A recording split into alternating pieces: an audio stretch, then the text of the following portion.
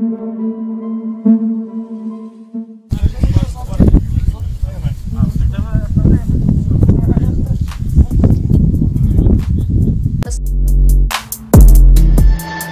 Pesawat Ural Airlines berpenumpang 161 orang terpaksa melakukan pendaratan di ladang gandum di wilayah Novosibirsk, Rusia pada Selasa 12 September.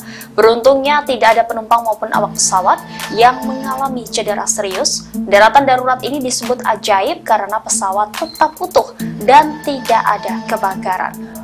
Berdasarkan laporan awal, insiden ini disebabkan oleh kerusakan hidrolik.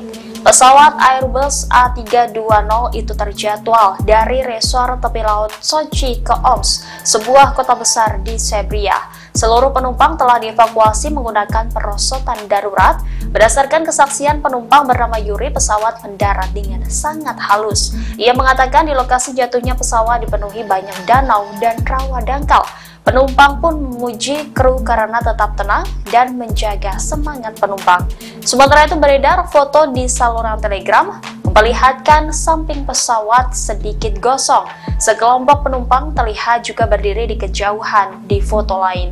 Gubernur wilayah Novosibirsk dan OMS berjanji akan memberikan semua bantuan yang diperlukan kepada penumpang termasuk tempat penampungan sementara dan transportasi.